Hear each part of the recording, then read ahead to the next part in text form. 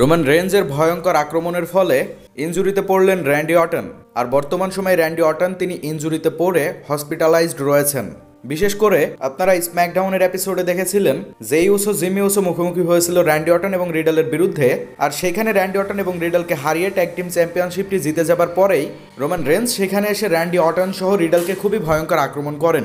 Specially রিডালকে বেশি আক্রমণ করেন, তবে সেখানে র্যান্ডি অটনকে স্বল্প পরিমাণে আক্রমণ করলেও আক্রমণটি খুবই ভয়ঙ্কর ছিল, আর সেই আক্রমণের ফলে র্যান্ডি অটন তিনি বর্তমান সময়ে ইনজুরিতে পড়েছেন। আর র্যান্ডি অটন তিনি বর্তমান সময়ে ইনজুরিতে পড়বার জন্য তিনি মান্ডে নাইট র বলুন স্ম্যাকডাউন বলুন কোথাও আসতে পারছে না। এমনকি ডাব্লিউ ম্যানেজমেন্ট তারা আমাদেরকে অফিসিয়ালি জানিয়ে দিয়েছে যে র্যান্ডি অটন তিনি ইনজুরিতে পড়েছেন, তিনি hell N S hell paper ভিউয়ের আগে ডাব্লিউডাব্লিউতে রিটার্ন করতে পারবেন না। আর তিনি ইনজুরির জন্য বর্তমান সময়ে হসপিটালে রয়েছেন। তবে তিনি ফিরে আসার পরেই কিন্তু বোঝা যাচ্ছে রোমান রেঞ্জের জন্য যেহেতু তার ইনজুরি হয়েছে, সেহেতু র্যান্ডি অটন তিনি ফিরে এসেই রোমান রেঞ্জকে চ্যালেঞ্জ করে দিবেন আনডিসপিউটেড ডাব্লিউ ডাব্লিউ ইউনিভার্সাল চ্যাম্পিয়নশিপের জন্য। ধন্যবাদ।